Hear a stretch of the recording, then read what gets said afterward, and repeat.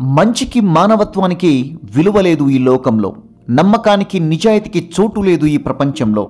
అడుగడుగున మోసం అణువణువున స్వార్థం. అన్ని జీవరాశుల్లోకి ఉన్నతమైనది మానవ జన్మ అంటారు. మరి ఏ జీవికి లేని ఇన్ని అవలక్షణాలు ఒక మనిషికి ఎందుకున్నాయి? అవసరం ఉన్నప్పుడు నీ కాళ్ళని అవసరం తీరాక నీ జుట్టును పట్టుకునే పనికి మాలిన స్నేహితులు బంధువులను ఎప్పుడైతే నువ్వు దూరం పెడతావో అప్పుడే నువ్వు బాగుపడతావు. అనుకున్నంత గొప్పగా కోరుకున్నంత అందంగా లేదు ఇక్కడ ఎవడి జీవితం. పడి ఏడవకు అలా ప్రతోడి జీవితం మీద. మారడానికి వెతుకుదారులు మార్చడానికి చెయ్యి ప్రయత్నాలు. నీ కోసమే కాదు నీ జీవితం కోసం కూడా. ఒక్కోసారి స్నేహం గొడవతో కూడా మొదలు కావచ్చు. ఇద్దరి ఆలోచనలు వేరు కావచ్చు అంతరాల మధ్య తేడా ఉండవచ్చు. అభిప్రాయాలు కలవకపోవచ్చు ఇద్దరి ఇష్టాలు వేరు కావచ్చు. అయినా కొంతమంది మంచి స్నేహితులుగా ఉంటారు. స్నేహం ప్రేమ. అడుక్కుని చేసే స్నేహం అడుక్కుని చేసే ప్రేమ వల్ల అశాంతి మానసిక క్షోభ తప్ప ప్రయోజనం శూన్యం. ఎప్పుడు వాళ్ళంటే మీకెంత ఇష్టమో చెప్పటం కాదు మీరంటే ఎంత ఇష్టమో కూడా తెలుసుకోండి. నీకు వందల కొద్ది బంధువులు ఉండవచ్చు కానీ నీకు ఏదైనా కష్టం వచ్చినప్పుడే తెలుస్తుంది. ఆ వందల్లో ఎన్ని బంధాలు నిజమన్నది. భోజనంలో విషం పెడితే ఎంత ప్రమాదమో చెవిలో విషయం పడితే కూడా అంతే ప్రమాదం. తినే భోజనం గురించి ఎంత జాగ్రత్తగా ఉంటామో వినే మాటల గురించి కూడా అంతే జాగ్రత్తగా ఉండాలి. కొన్నిసార్లు మన చెవులు గ్రహించే మాటల వలన మన స్వభావం మారిపోవచ్చు.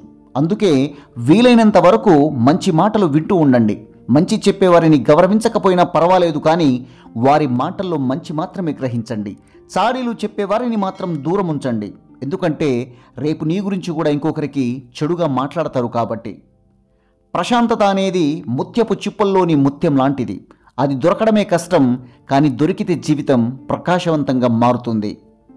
డబ్బు లేనప్పుడు కూరగాయలు వండుకుని తినేవారు డబ్బు గల వాళ్ళు అయ్యాక పచ్చి కూరగాయలు తింటూ బ్రతుకుతున్నారు. డబ్బు లేనప్పుడు గుడికి భక్తిగా దేవుడి దగ్గర దర్శనం చేసుకునే వాళ్ళు డబ్బు వచ్చాక సరదాగా తిరగడానికి వెళుతున్నారు. డబ్బు లేనప్పుడు లేపేదాకా నిద్ర నుండి మెలకు వచ్చేది కాదు.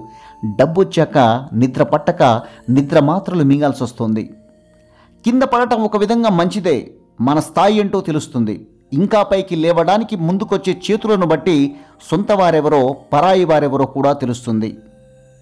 తెలియనిది తెలుసుకుంటే జ్ఞానం జ్ఞానాన్ని ఆచరిస్తే వచ్చేది అనుభవం అనుభవాలతో తెలుసుకోగలిగేది గుణపాఠం. గుణపాఠాలతో మనల్నికి మనం చక్కదిద్దుకోవడం మనలోని సంస్కారానికి నిదర్శనం. అవే గుణపాఠాలను గుర్తుపెట్టుకుంటే సమస్యలకు దూరంగా ఉంటాము. విస్మరిస్తే మళ్ళీ అజ్ఞానంలోకి పడతాము. ఒకరికి నచ్చలేదని నిజం తనని తాను మార్చుకోదు ఒకరు నమ్మలేదని నిజం తనని తాను కోల్పోదు. అందుకే నీలా నువ్వు ఉన్నందుకు ఎప్పుడూ బాధపడకు.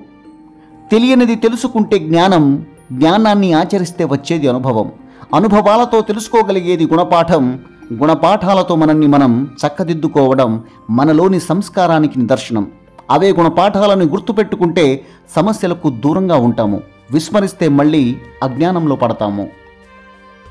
పక్క వాళ్ళ మీద ఏడ్చే మనుషులు మూడు రకాలుగా ఉంటారు.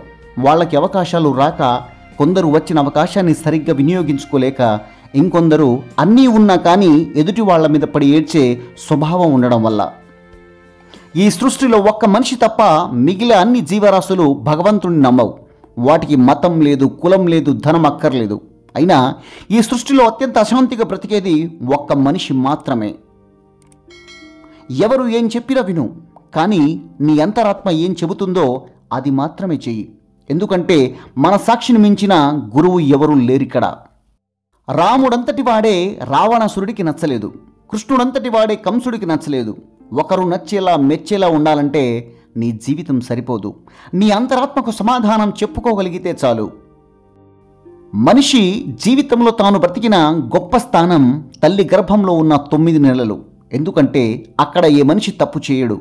ఎంత చీకటి ఉన్న భయం వేదు దేని మీద ఆశ ఉండదు. నాది అనే స్వార్థం ఉండదు. ఎప్పుడు ప్రశాంతంగా ఉండేది కూడా తల్లి గర్భంలో మాత్రమే. అందుకే మనిషి చూసిన గుడి తల్లి గర్భం మనిషి చూసిన దైవం తల్లి ప్రేమ. గెలవటం అంటే రాజ్యాలు కాదు దేశాలు కాదు ఇంకొకరి దగ్గర చెయ్యి చాచకుండా ఎవరిని మోసం చేయకుండా రాజాలా బ్రతకటం. కడుపుకి తిని కంటి నిండా నిద్రపోవటం దీన్ని మించిన గురువు ఏదీ లేదు. వినే ఓపిక లేనివాడు ఎప్పటికీ అజ్ఞానిగానే మిగిలిపోతాడు. చెప్పే ధైర్యం లేనివాడు ఎప్పటికీ పిరికివాడిగానే ఉండిపోతాడు. అవసరం లేనప్పుడు నిశ్శబ్దంగా తన పని తాను చేసుకోపోయే మేఘం కూడా అవసరమైతే గట్టిగా ఉరిమి తన ఉనికిని చాటుకుంటుంది. అలాగే మంచివారు కూడా అవసరమైతే కానీ బయటపడరు. మనల్ని చులకనగా చూసేవారి నుండి పరిష్కారం లేని గొడవల నుండి మీ విలువ తెలియని వారి నుండి మీ మనసుని కష్టపెట్టే విషయాలకు ఎంత దూరంగా ఉండగలిగితే అంత ఆరోగ్యంగా ఉండగలరు. మీరు మంచి కోసం పోరాటం చేసే సమయంలో మీకు ఇబ్బంది కలిగే విషయాలు మనుషులు ఏవైనా ఎవరినైనా వదిలేయండి. మరో జీవితం లేదు ఉన్నది ఒకటే జీవితం. ఈ జీవితంలో సాధించలేకపోతే మరో జీవితం లేదు రాదు సాధించడానికి. నిలకడలేని వ్యక్తులే ఇతరులపై నిందలు మోపుతూ ఉంటారు. దీనిని మౌనమే సమాధానం లేకుంటే వారిలా మనము స్థిరత్వాన్ని కోల్పోవాల్సి వస్తుంది. కొన్ని అబద్ధాలు ఆలోచించకుండా నమ్ముతున్నాం. కొన్ని నిజాలు నమ్మడానికి ఆలోచిస్తున్నాం. అనుమానంతో చేసే కాపురం అమాయకత్వంతో జీవించే జీవితం అయిష్టంతో భుజించే భోజనం అడుక్కుని ప్రేమించుకునే ప్రేమ ఎప్పటికైనా ప్రమాదమే. ఒకరు మనపై కోపం చూపిస్తున్నారంటే వారికి మనపై ఎక్కువ ప్రేమ ఉందని అర్థం. ఆ కోపంలో మనమెంత ఎక్కడ దూరం అయిపోతామో అనే భయం కూడా ఉంటుంది. జీవితం ఎన్నడూ నువ్వు ఎదురు చూస్తున్నట్టు మారదు. కానీ నువ్వు ఎదురు చూస్తున్నట్లు మార్చుకోవచ్చు. అది కూడా నువ్వు ప్రయత్నిస్తే మాత్రమే. ఒకరు నీ పక్కన ఉంటే నీ స్థాయి పెరగడం కాదు. నువ్వు పక్కన ఉంటే వారి స్థాయి పెరిగే స్థాయికి నువ్వు ఎదగాలి.